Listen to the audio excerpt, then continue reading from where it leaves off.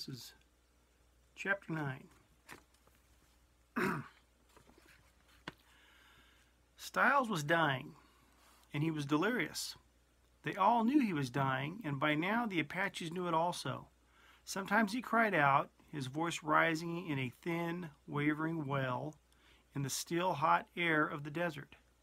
Junie sat beside him, putting damp cloths on his brow and sponging his face at intervals.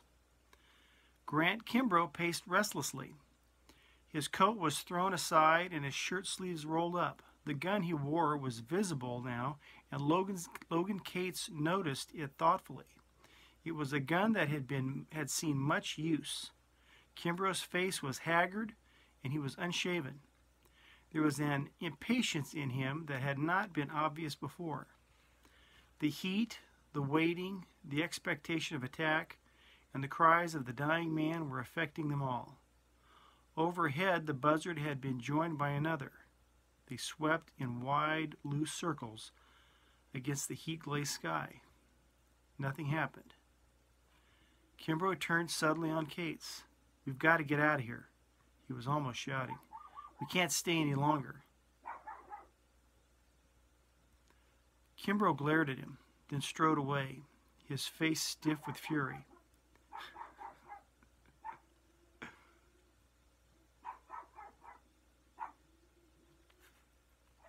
Excuse me. Hey.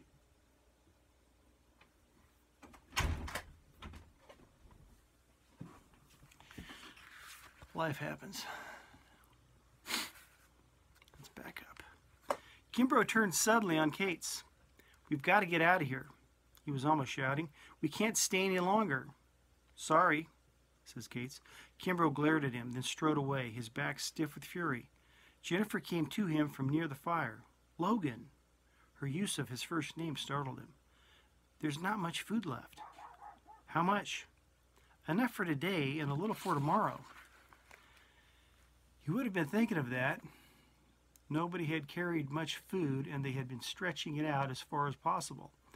That it had lasted this long was surprising, and at least partially due to the fact that there was too much else to worry about, and nobody had nobody had eaten more than a few bites. It was necessary to maintain a constant watch. Their position was secure only so long as they were vigilant for they were in the arroyo, and once an Apache was able to reach the edge of it, all their positions became un untenable. so then, they might have to make a run for it after all. How slim their chances would be once they left this trough and the rocks he well knew. Beaupre, Beaupre and Lugo knew also, and Sheehan. How much the others knew he could only guess, but Kimbrough, Taylor, and Zimmerman all wanted to be moving. Yet once in the open, tied down by the few horses they had, they would be sitting ducks for the Apaches. All the Indians needed to do was hang off on their flanks and pick them off as opportunity offered. No, they must stay here. Even as he made the decision, he kept his mind open, hoping for a chance for some other way out. South, as had been suggested. But what then? There was no place to go for many, many miles, only an empty, deserted shore, sandy and miserable with intense heat, doubtful water supplies, and only the faint hope of sighting a fishing boat from the south or a steamer headed for the mouth of the Colorado. well, Zimmerman asked, what do we do? Stay here and starve or make a run for it? Grant Kimbrough glanced up at him. From his seat by the fire, his face expressionless. Yes, leader, there was a tinge of sarcasm in his voice. We'd like to know. What do we what do what do we do now? We sit tight, said Logan. Damn it, man, Taylor sprang to his feet. Are you crazy? We'll all starve to death or be picked off one at a time, like that poor soldier. I move we hit the desert and hit running. What about the women? Cates asked mildly. Taylor's eyes shifted, and he looked angry, but he was a stubborn man. I move we run for it, he said. How much chance would we have in the open? Cates asked. Not much, I'd say. And how much water could we carry? I'm ready to go any time, Webb said. I don't believe there's more than half dozen Apaches out there. We stay, Cates said. We sit tight. You stay, Zimmerman was. You stay. Zimmerman was ugly. I'm going, and I'm going now. And I'll go with him, Webb declared. If you go, Cates said, you'll have to walk. No horses are leaving here. Zimmerman turned slowly. He looked at Cates with a slow, measuring glance. I say I'll ride out of here, he said softly, and I think I'll ride that zebra dun. Grant Kimbrough leaned back on his elbow, a faintly amused expression on his face. Sheehan, Beaupre, and Lugo were away on watch or sleeping. Lonnie Foreman was up on the rocks. Those who remained were against him, except perhaps the women. Logan Cates stood flat footed, his feet a little apart. He was going to have to kill Zimmerman. He could see it coming, and he did not want to do it. The big soldier started forward, and Webb moved a little to the left, and Logan Cates stepped back a little, his hand poised over his six shooter. I'd get back if I were you, he said coolly. I don't want to kill either of you. We need you. We don't need you, Zimmerman said, grinning, and you won't have and you won't draw. That's right, Kimbrough said quietly. He won't. It was unexpected. Kimbrough's pistol covered Cates. Grant, Jennifer cried out. No. They're right, Jennifer, Kimbrough said. We've got to ride out of here. It's our only chance. Take his gun, Zimmerman. No. Junie Hatchett had Big, Martha, Big Maria's shotgun, and she was holding it as if she knew how to use it. The shotgun was aimed at Kimbrough, and the range was no more than 30 feet. You drop that gun, Mr. Kimbrough, and you drop it now. You make yourself a move, and I'll cut your head off. The second barrel goes for him. She jerked her head to indicate Zimmerman. And if you don't, if you don't think I'll do it, you just hold that pistol until I count to two. One, two. Kimbrough backed up, his face sullen. You better not go to sleep, Cates. If you do, I'll kill you. When he's asleep, Junie said, I'll be awake, mister. Hmm. As they moved away, Cates turned to Junie Hatchett. Thanks, he said simply. She glanced at him. If anybody can get us out of here, she said, it'll be you. Jennifer looked after her as the girl returned to the fire. I see what you meant, Jennifer said. There is iron in her. She hesitated. Do you think she would have shot Grant? Cates nodded grimly. She'd have shot him. She would have done just what she said she would do, and what's more, they both knew it. Her finger was taking up slack when he dropped that pistol. I can't understand it, Jennifer said, frowning. What could have come over Grant? Logan Cates let his eyes wander along the edges of the arroyo. Maybe he got carried away, Cates suggested dryly. It's times like this that bring a man to face to face with himself. The sun flared like a burnished sword, and the sky was like a white hot sheet of steel. Around them, the lava grew too hot to touch, and they led the horses to water and returned them again to the thin shade in the lower arroyo. During all this time, the desert stirred with no sound. The Apaches gave no indication of their presence, and no quail called, nor did the wind blow, nor did any stone rattle in the parched silence. The, 30, the, 30, the thirsty sky drank of the pools, and the people at the water holes drank and the water seemed to fall away beneath them. In the late afternoon, a restless Conley, tired of sitting and watching where nothing was, lifted his head a little to peer at a cluster of rocks and brush. The report of the rifle was thin in the great silence and distance, a little lost sound in the emptiness. The young soldier fell, tumbling down among the rocks, and lay there still. Jennifer was first to reach him, then Big, Big Maria and Cates. Maria looked up. Just burned him, she said. He'll be all right. Cates descended into the lower arroyo. Beaupre was resting in the shade. Lugo was crouched immovable against a rock face. Cates squatted beside him. What do you think? How many are out there? Tony Lugo shrugged. I think twenty. More, maybe. I think Cherupatai won't attack with less. We need food, Cates said. I'll try it tonight. You get killed. No, Cates indicated a thin spot in the brush near the base of a smoke tree. I go down the arroyo, tell nobody but you. I can go like an Indian. With the glasses, I have seen some mountain sheep south of here. They want to come for water, and they wait to see if we will go away. I think I can find them. They'll hear the gun. No, I'm going to use a bow and arrow. I have used them many times when I lived among the Cheyenne. I make you. You let me go. No, I'll go, but you can make it. If I started, they would be wondering why. I don't want anyone to know where I am, you understand? The need for food was serious. A few days might make all the difference, and Logan Cates knew that by now there was doubt in Yuma.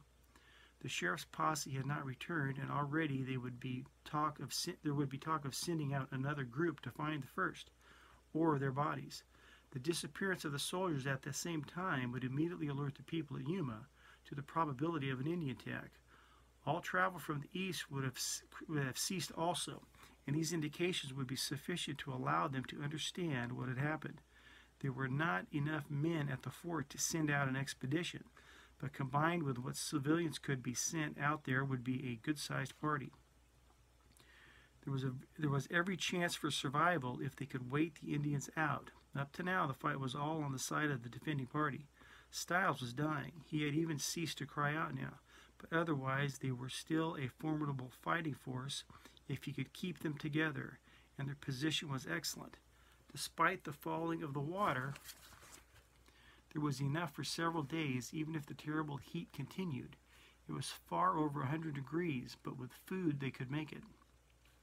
The mountain sheep, a type of bighorn slightly different from those far to the north, were excellent eating, and it was likely they had never been hunted. He had noticed them on the ridges looking toward the wells several times, and they might still be there. If he could get a sheep, there was a good chance they could last out the week. By that time, there might be a relief expedition sent out. It was true that such a force would be likely to go along the route the, to the north, but when they reached Bates Well and found it dry, then there would be time to start putting two and two together. In Yuma, they knew the Papago Wells, and they would come south and find them. Everything depended on keeping the party intact. He dared not let Zimmerman realize he was absent, or the big soldier would be stirring up trouble. Sheehan would try to keep him in line, but tough as the sergeant was, he would be no match for the younger, tougher Zimmerman. It was well after dark when Logan Cates made his move. Kimbrough was on watch in the rocks, and Lonnie asleep. Zimmerman had turned in also, lying near Big Maria. Yet far enough off she would not be suspicious. The other men were scattered on watch or sleeping, and Cates had told no one but Lugo what he intended to do. He left his pistol and took only the bow, half a dozen arrows, and his bowie knife. Lying flat, he eased his way under the lowest limbs of the smoke tree and into the rocks. When there, he lay still for several minutes, listening. Then, with infinite care, he snaked down into the rocks and out on the edge of the sand. Again he paused to listen. When half an hour had passed, he was no more than fifty yards from the barricade, and he had seen no one. Then, just as he was about to move, there was a subdued rustle of movement. Not ten feet from him, a dark form moved from the shadow to some brush and started up the wash towards the barricade. Waiting until the Indian had gone, Cates rose soundlessly from the ground and moved out. Another hour passed, and then he saw the first of the bighorns. He heard it before he saw it, heard it cropping grass upwind of him, but against the side of a bluff and invisible. Notching an arrow, he settled back to wait. He was close. The slightest sound might startle the bighorn into a run, and it might be impossible to get to so close to another. So he would not move. He would not move at all. The minutes ticked slowly by, and several times he would he heard the movement of the bighorn's feet on rock. Yet he could see nothing. Yet on his left there was a place where the bluff fell away, and when the sheep got that far, he would be skylined. He waited over the bluff. He waited. Over the bluff in the distance there was a lone star hanging in the dark sky. He heard the bighorn step lightly, and then another sound. It was another sheep, further back, or was it? He held very still, listening. Somewhere not a dozen feet away, he could hear the faint breathing of another man. He hesitated, and suddenly the sheep moved, and Cates heard the sharp twang of a bowstring, and heard the thud of the arrow striking home, and the startled grunt of the bighorn. The sheep lunged, then fell to its knees, then rolled over. The horn striking on the rock with a metallic sound, instantly an Indian arose from the rocks and started forward. For a breathtaking instant, the, inst- the Indian was himself outlined, and Logan Cates turned his bow, loosed his arrow, and missed. The instance of turning, some sound had warned the Apache, for he turned swiftly and instantly sprang at Cates. Knocked over backwards by the hurtling body, Cates could only throw up his knees to protect his stomach. The Indian struck him with his body, and Cates threw him off with a convulsive jerk, then rolled over, drawing his knife, and he rolled. The Apache struck at him, and Cates fell, the whisper of the razor sharp blade as it missed his ear and cut sharply into his shirt. At the same time, Cates struck a wicked left hand blow into the Indian's belly. The Apache was knocked back by the blow, almost winded, and they both came to their feet together. Cates cut quickly with his knife, felt it strike and glance off. And then they were tied in a, in a clinch, and something warm, wet, and slippery was making his hands fight for the grip. The Indian broke free and backed off a step, and Cates followed, crouching, holding his knife low with the cutting edge up, ready to strike for the soft lower part of the Indian's body.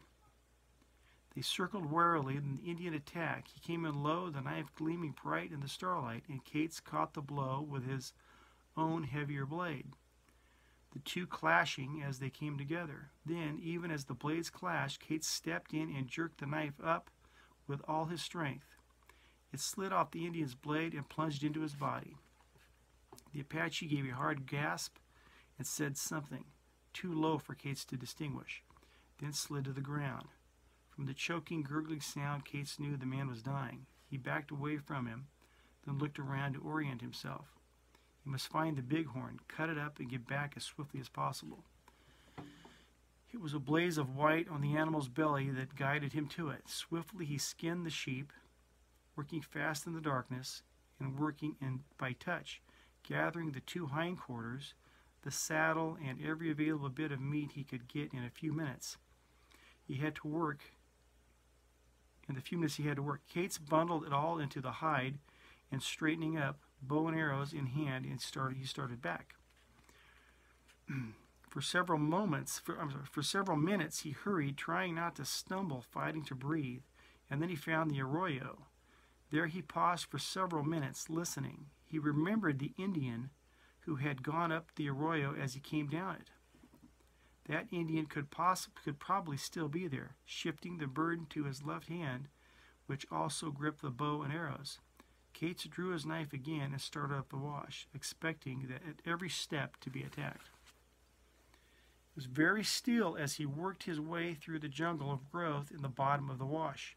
From time to time he paused to listen, then moved forward again. Once a branch caught in the hide of the sheep and twanged sharply as he pulled it free. Hastily he took three quick steps and crouched low, waiting and listening.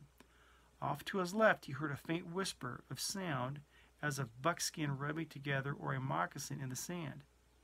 He moved again, quickly, then paused to listen. He was sure he was almost at the place where he had left the oasis, and he eased his burden of meat to the ground. For a long time he held his breath, listening. Despite the coolness of the night, he was sweating. He shifted the knife to his left hand and rubbed its right palm on his shirt. On one knee he rested. An hour earlier, Grant Kimbrough had come down from the rocks and walked to the fire. Beaupre had relieved him, and nobody else was moving around. He glanced at the bundled figures on the ground and tasted the scalding coffee. If any of them got out of this alive, they would be lucky. How had he ever gotten himself into such a uh, predicament? They should never have stopped, but kept running. Long ago, they would have been in Yuma, and from there a man could buy passage to San Francisco or go by stage over the Butterfield route. San Francisco, the lights of the city seemed something that had never been. Something beyond belief now. That was the life, not this. And old Jim Fair would come to terms. He had nobody but Jennifer, and he would want her to have the best. The thing to do was to get out now to awaken Jennifer, saddle their horses, and make it and make a run for it. The thought came to him suddenly, and he tried to dismiss it, but it returned to his mind. Well, why not? It was doubtful that more than two or three Apaches would be on the watch.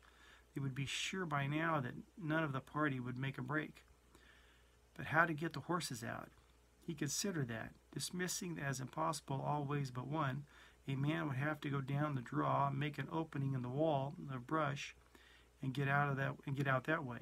It could be done. From Yuma, they could send help, and in the meantime, they would be on their way to San Francisco. Kimbrough looked at the dark brown coffee, swirling it in his cup. He had only seventy dollars in his pocket, and it was not enough, of course. And it was not enough. Of course, if he could get in a game in Yuma, and they could sell their horses. He glanced at the place where Jennifer slept.